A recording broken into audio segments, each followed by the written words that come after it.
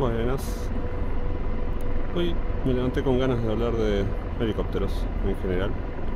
Así que este es un video para explicar un poquito algunas cosas que son como básicas de cómo vuelan los helicópteros y que por ahí la mayoría de la gente no se las, no se les imagina. Sobre todo gente como yo que voló bastante de simuladores de aviones. Eh, y que entonces teníamos una idea de más o menos cómo se debe comportar un helicóptero. Pero después cuando te subís a un simulador de helicóptero más o menos en serio, resulta que es todo bastante, bastante más complicado, más, más difícil de lo que por lo menos yo me hubiese imaginado. Y creo que de hecho a la mayoría le pasa lo mismo. Por lo menos ahora que salió en DCS el Apache y hay mucha gente probando y estoy hablando con gente que está en la misma, eso como que en general cuesta acostumbrarse a cómo vuelan estos bichos. Para quien no tenga ni la más remota idea de cómo se vuelan, básicamente uno tiene dos controles, o tres grupos de controles principales, ¿sí? tres cosas con las que uno está todo el tiempo manejando. Uno es el stick, la palanca esta que tengo acá. Otro es el colectivo. Perdón, el stick se le dice, en los helicópteros se le dice cíclico. Así que esto es el cíclico. El colectivo, que es esa palanca ahí a la, a la izquierda mía. Y los pedales. ¿sí? Con esas tres cosas uno está todo el tiempo volando el helicóptero. Y la idea que uno tiene, o que por lo menos yo tenía antes de volar ningún helicóptero en serio, en simulador, ¿no? Yo, jamás volé un helicóptero de verdad, así que todo esto tómenlo como, como de quien viene. Pero la idea esa que yo tenía, que creo que mucha gente tiene, es que el helicóptero, si uno no hace nada, se queda quieto y con los controles entonces uno lo mueve con la actitud o dirección que uno quiere. ¿sí? Y que entonces sabemos que, por ejemplo, con el cíclico, con la palanca esta del medio, si yo le inclino para adelante, el helicóptero se inclina para adelante y puede avanzar. Si le inclino para atrás, puedo retroceder o frenarme, cosas así. Si levanta la nariz y se frena. Si le inclino para los costados, empiezo a volar más de costado. Sí, para el otro costado también. Que los pedales permiten girar sobre el eje del rotor, o sea, si aprieto el pedal izquierdo, esto por ahí es medio poco intuitivo, pero si aprieto el pedal izquierdo, giro para la izquierda, y si aprieto el pedal, derecho, giro para la derecha. Y que el colectivo, está de acá abajo, que se sube y baja, es un solo eje, subiendo me permite subir, trepar, ahí está, ven que el helicóptero está subiendo, y bajarlo me hace descender. Ven que ahí estoy descendiendo. Entonces eso, por lo menos yo tenía esa idea de que, ah, bueno, si el helicóptero entonces no toco nada, se queda quieto y con esos tres controles lo muevo en la dirección que yo quiero. Primera cosa que, que estaba errado en eso, no es ni a gancho, ¿sí? Si soltás los controles, el helicóptero no se queda quieto. El helicóptero está todo el tiempo. Se siente como que está todo el tiempo tratando de matarte. Como que todo el tiempo se quiere ir al piso, girar y perder control. Y uno está constantemente usando esos tres controles para tratar de mantenerlo en posición. Entonces, por ejemplo, quedarse quieto en un lugar flotando no es soltar los controles. Es estar todo el tiempo renegando con esos tres controles para que el helicóptero se quede donde vos querés que se quede. Y la otra gran cosa que es bastante distinto a que yo por lo menos no me lo imaginaba, es que esos tres controles se afectan muchísimo entre sí. Por ejemplo, si yo quiero subir, ¿sí? tiro el colectivo para arriba y eso sube. Pero si subo y no toco ninguno de los otros controles, empieza a rotar, para, en este caso para la derecha. Entonces, si quiero subir, además tengo que compensar con los pedales para que no rote para la derecha pero si compenso con los pedales además como que se tiende a desplazar un poquito de costado. Entonces también con el colectivo perdón con el cíclico tengo que inclinar un poquito en alguna de las dos direcciones para que no se me desplace tanto en esa dirección. Y el tema es que cuando inclino entonces por usar el cíclico la cantidad de sustentación que genera el rotor por estar un poquito inclinado es distinta y entonces de vuelta tengo que estar ajustando el colectivo para lograr el ascenso o estabilidad que yo quiero.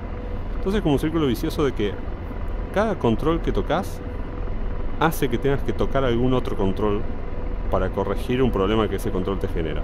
O sea, tocas A, se te rompe B, tocas B, se te rompe C, tocas C, se te rompe A, y así. Estás todo el tiempo en un loop de corrección entre esas cosas Y el helicóptero, entonces, si vos no estás en ese loop, si vos no estás haciendo eso, el helicóptero rápidamente empieza a irse para cualquier lado. Entonces eso, comparado a los aviones, es muy muy distinto y es algo que yo no me esperaba para nada. Me costó mucho el primer tiempo, y creo que le cuesta a todo el mundo, hacer hover, ¿sí? o sea, quedarte quieto flotando en un, en un lugar es re jodido el primer tiempo. Sentís como que está, como que está roto, como que no se puede quedar en donde, donde vos querés. Y nada, eso, de a poco vas desarrollando las intuiciones y las técnicas de ya saber que si estás subiendo tenés que automáticamente empezar a compensar con los pedales, y que si estás compensando con los pedales tenés que tocar un poquito el cíclico, o sea, empezás a desarrollar un poquito la, la habilidad, pero el primer tiempo, cuando no sabes o no tenés ya, ese instinto, el helicóptero cuando vos empezás a querer controlarlo, empieza a hacer cosas que vos no te esperás, se te va para cualquier lado. Después otra, cosa que también yo no sabía antes de, empezar a meterme con el helicóptero, de vuelta, insisto, hace bastante poco que estoy haciendo esto y eh, obviamente en simulador, no, en helicóptero de verdad, así que puedo, equivocarme en cosas que diga más y voy a hacer algunas simplificaciones. Pero bueno, otra cosa que yo me imaginaba era que para subir y bajar uno cambiaba básicamente la potencia del motor. O sea, el rotor está girando y si giraba más fuerte subís y si giraba más despacio bajás. Y por lo menos en los helicópteros que estoy volando acá en DCS eso no es cierto. Sino que la palanca de potencia no es esta palanca que uno tiene acá a la izquierda, no es el colectivo. Con el colectivo no estoy dándole más potencia o menos potencia al, motor, o sea, haciendo girar más rápido o más lento el, rotor. Sino que eso es otra palanca que está acá, esto que estoy señalando con la crucecita. Esas son las palancas de potencia del motor y fíjense que están fijas. ¿sí? Yo para volar no estoy tocando eso, yo estoy tocando el colectivo que está acá, pero las palancas del throttle, de la potencia del motor, están ahí están quietas. En el Apache, por ejemplo, tienen su posición de fly y uno las pone en fly. Y en vuelo normal, salvo que haya una emergencia, algún motor falla, alguna cosa así, en vuelo normal no tocas la potencia del motor, está siempre fijo. Y lo que uno toca con el colectivo es el ángulo de las aspas del rotor. Entonces uno las inclina más para que choquen más aire y empujen más aire hacia abajo y generen más vacío en la parte de atrás y entonces se succione más para arriba cuando uno quiere subir. Y uno las inclina menos, las pone más, más chatitas, más que se choquen menos fuerte el aire cuando uno quiere bajar. ¿sí? Y obviamente en, un punto en el medio quedará, quedará estable. Entonces uno está controlando eso y eso tiene un par de, consecuencias que también son parte de ese problema que decía que cada cosa que tocas en el helicóptero tenés que tocar otra. Y es el hecho de que si el helicóptero, si el rotor está girando, por física que no voy a poner a explicar, el cuerpo del helicóptero tiende o quiere girar en la dirección opuesta. O sea, si el, el rotor está girando en el sentido de las agujas del reloj, el cuerpo va a tender a girar en el sentido antihorario, anti agujas del reloj. Y que eso varía con cuánta fuerza trata de hacer eso, de acuerdo a cómo uno tiene el colectivo, de acuerdo a cómo uno inclinó las aspas del, del rotor. Porque cuando están más inclinadas, están chocando más fuerte el aire, el aire se resiste, entonces esa resistencia en algún lado del motor sigue haciendo la misma fuerza, entonces en algún lado va a generar ese movimiento que no está sucediendo en el rotor, entonces empieza a suceder en el, cuerpo del helicóptero. Entonces cuando uno toca el colectivo y le cambia el ángulo de las aspas, cambia la fuerza que el helicóptero está haciendo para rotar en una dirección que uno no quiere. Y por eso uno tiene que estar compensando con los pedales. Y obviamente, bueno, eso, el rotor de cola lo que hace es uno le hace tirar más fuerte o más despacio aire para compensar eso. ¿sí? Entonces con los pedales uno está controlando básicamente eso, qué tan fuerte empuja el rotor de cola para un costado. Y cuando uno toca el colectivo, el cuerpo del helicóptero quiere girar más fuerte más fuerte o más despacio en una dirección y uno con los pedales hace que el rotor de cola compense eso. Entonces por eso sucede, sucede esa, específica conexión entre esos dos controles. Y el tema es que el rotor de cola, como está está tirando aire de costado, también hace que el helicóptero tienda a volar de costado en esa dirección, o sea, en la dirección opuesta en la que está tirando el aire. Y por eso es que uno con el cíclico, con la palanca esta, tiene que inclinar el helicóptero en la dirección opuesta para que no se desplace solo para ese lado. Todas estas cosas son más visibles cuanto más quieto y más cerca del piso estás. A medida que vas ganando velocidad, el helicóptero empieza a comportarse más parecido a un avión. Entonces, de hecho, en el Apache, por ejemplo, cuando está yendo muy fuerte, cerca de la velocidad máxima, el rotor de cola no lo tenés que usar casi nada para mantenerlo estable, mantenerlo derecho. Ahora, si estás queriendo hacer hover, quieto en un lugar, estás todo el tiempo con el rotor de cola, con los pedales, renegando para que se quede quieto. Y cuando eso, cuando uno quiere subir, cuando uno le da mucho al colectivo que para arriba, que básicamente las, las aspas se inclinan mucho y se chocan más aire, eso empezás a tener que compensar más con los pedales. Y una cosa que puede llegar a pasar es que uno se vaya de mambo, que el rotor esté con las aspas demasiado inclinadas, chocando el aire demasiado fuerte, y en un punto el rotor de cola ya no tiene fuerza suficiente como para compensar esa, ese torque. ¿sí? Vamos a empezar a decirle el nombre que corresponde, esa fuerza es el torque, y llega un punto donde eso, donde el rotor de cola no le da la fuerza para compensar el torque que uno está generando con el rotor principal. Entonces, una de las cosas que hay que tener cuidado es eso, no, no sobreexigir no pedir demasiado con el colectivo porque el, helicóptero va a empezar a rotar en direcciones que uno no va a poder frenarlo. Y la otra cosa que también puede pasar y que es re grave es que si uno está pidiéndole demasiado con el colectivo, o sea, las aspas de vuelta están demasiado inclinadas, empujando, uno quiere lograr empujar mucho, mucho aire, entonces las está inclinando mucho, empiezan a tener cada vez más resistencia del aire. Imagínense un, cuando sacan la mano del auto, el auto está yendo fuerte, si ponen la mano perfectamente acostada, medio que el aire no, no la molesta, pero si la ponen de frente, el, aire te la lleva para atrás. Bueno, al rotor le pasa lo mismo.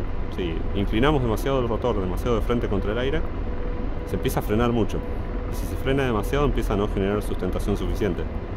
Y entonces podés tranquilamente empezar a caer por más que le estás dando el colectivo al mango, que, que es al revés de lo que uno está queriendo hacer. si Uno cuando le tira más colectivo es para subir pero eso, en un punto empezás a perder sustentación y empezás a caer, empezás a, hacer lo inverso.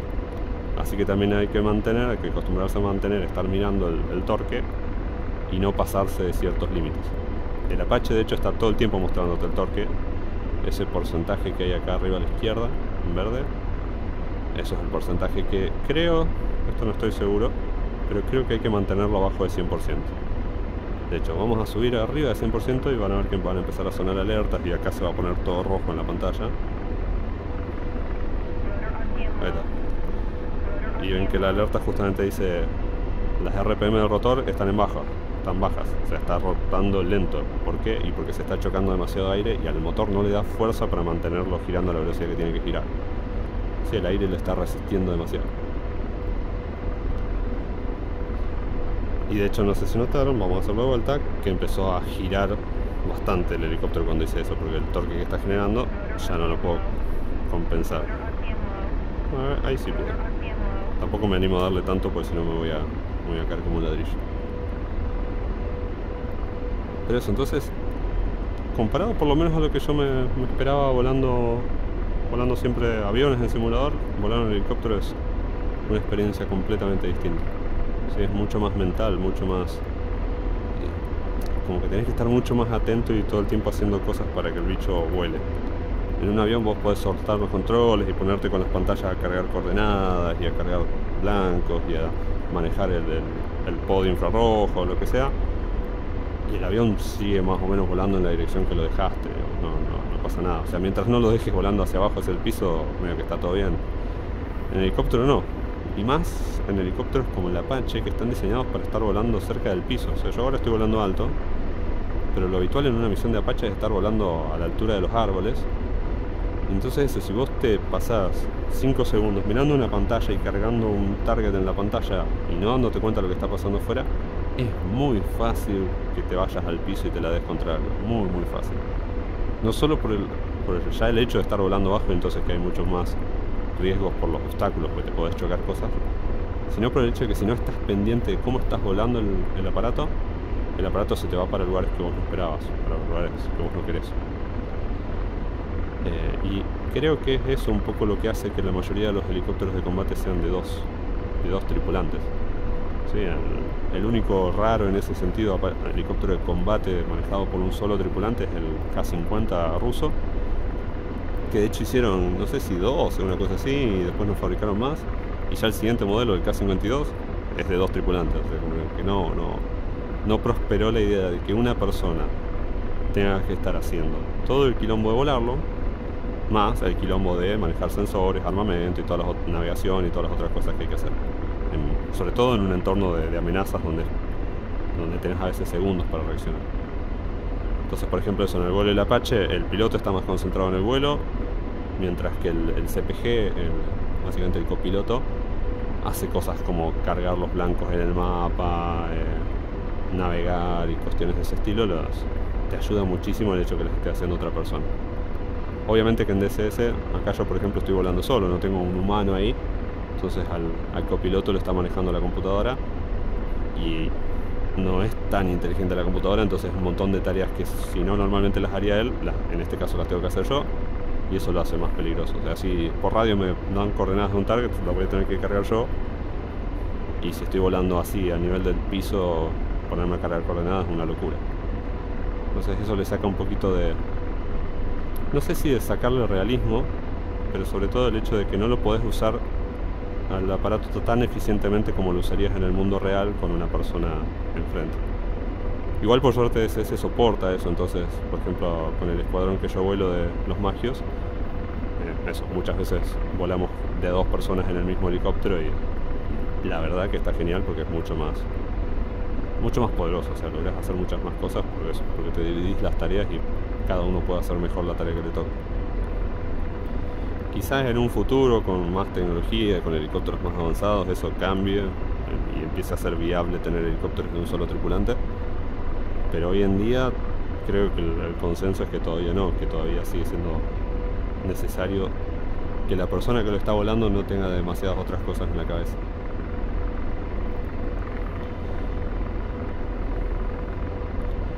Así que eso, creo que no, creo que con eso estoy. Tenía ganas de contar un poquito cómo es mi experiencia de volar un helicóptero después de haber volado mucho de aviones en todo un simulador creo que la frase que mejor lo resume es que el helicóptero te está todo el tiempo tratando de matar. Tenés que acostumbrarte a luchar contra el bicho para que vuele y, eso en aviones nunca lo había sentido. Bueno gente, espero que les haya sido entretenido. Y si vuelan de CS o eso, avisen o métanse a los magios o, o háblenme por Twitter o lo que sea y si quieren algún día volamos juntos a la pareja. Adiós.